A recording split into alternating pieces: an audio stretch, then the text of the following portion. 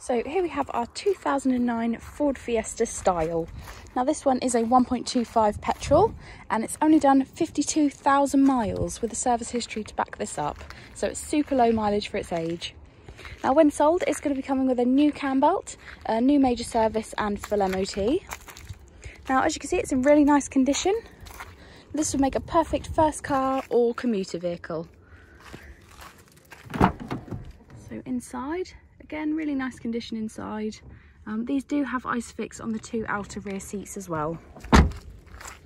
And then there's the front. So it has got electric windows in the front.